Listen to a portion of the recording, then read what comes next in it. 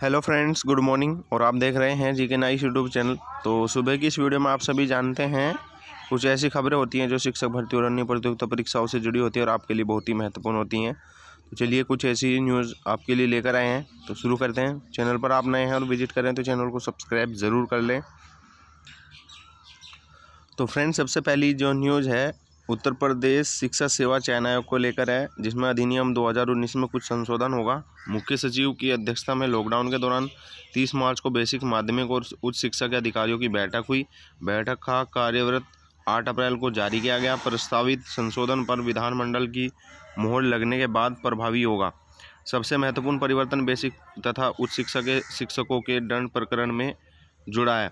सत्ताईस दिसंबर 2019 को जारी अधिसूचना में बेसिक माध्यमिक और उच्च शिक्षा के सभी अध्यापकों के संबंध में नियुक्ति प्राधिकारी द्वारा कोई दंड आदेश पारित करने के पहले आयोग से पूर्वानुमोदन का प्रावधान किया गया था। हालाँकि बैठक में बेसिक और उच्च शिक्षा के अधिकारियों की ओर से दिए गए प्रस्ताव के अनुसार नियोक्ता के दंड आदेशों पर आयोग के पूर्वानुमोदन की शर्त को हटाकर उनके पूरे विभागीय प्रक्रिया में लाया जा रहा है, जबकि सहायता प्राप्त माध्यमिक विद्यालयों के अध्यापकों के मामले में प्रबंधन तंत्र के किसी दंडदेश के पूर्व आयोग के पूर्वानुमोदन की व्यवस्था से कोई छेड़छाड़ नहीं की गई है। बेसिक शिक्षा परिषद के समक्ष लंबित प्रकरण को भी उच्च शिक्षा सेवा आयोग तथा माध्यमिक शिक्षा सेवा आयोग की तरफ़ न्याय आयोग को आंतरित किए जाने की सहमति बनी है।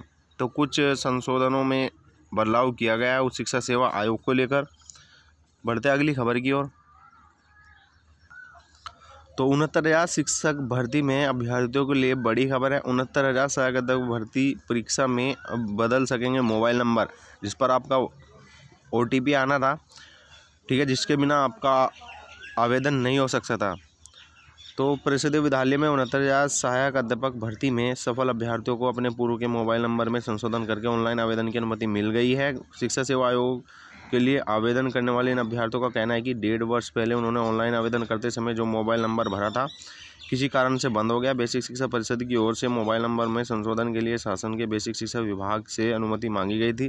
शासन की अनुमति मिलते ही बेसिक शिक्षा परिषद ने अपनी वेबसाइट पर सूचना देकर अभ्यर्थियों का मोबाइल संशोधन शुरू कर दिया और अच्छी खबर है ये, अंतिम दिन से एक दिन पहले वन पॉइंट तीन दो लाख आवेदन। आवेदन की अंतिम तिथि तक एक पॉइंट तीन दो लाख ऑनलाइन आवेदन अपलोड हो चुके हैं। सहायक अध्यापक भर्ती परीक्षा में कुल एक पॉइंट चार छः लाख अभ्यर्थी सफल हुए थे। इनमें से एक पॉइंट तीन दो लाख के आवेदन पूरे कर लेने के बाद अब मात्र बारह हज़ार ही आवेदन शेष हैं। इसमें बड़ी संख्या में अभ्यर्थी मोबाइल नंबर में संशोधन वाले भी होंगे, मोबाइल नंबर में संशोधन के अतिरिक्त, फॉर्म में संशोधन की मांग करने वाले अभ्यर्थी भी संख्या में शामिल होंगे। इसके अतिरिक्त कुछ अभ्यर्थी ऐसे भी होंगे जो किसी दूसरी भर्ती परीक्षा के ज़रिए डेढ़ वर्ष से नौकरी पा चुके हैं। और परीक्षा को लेकर नहीं दूर हो रही अभ्यर्थियों की नाराज़गी। सहायक अध्यापक भर्ती परीक्षा में सफल अभ्यर्थियों की काउंसलिंग में शामिल होने के लिए 18 से 26 मई के बीच ऑनलाइन आवेदन मांगे गए हैं। अब तक एक पॉइंट तीन दो लाख अभ्यर्थियों ने आवेदन भी कर दिया है। सचिव बेसिक शिक्षा परिषद की ओर से अभ्यर्थियों की शिकायतें सुनने और उसके ऑनलाइन निस्तारण के लिए परिषद की ओर से हेल्पलाइन नंबर व ईमेल आईडी जारी किया गया। परिषद की अंतिम की ओर से अंतिम समय में जारी ईमेल आईडी पर सोमवार तक कुल ग्यारह हज़ार से अधिक ऑनलाइन शिकायतें पहुँच चुकी हैं। तो ये थी कुछ महत्वपूर्ण खबर आपके लिए।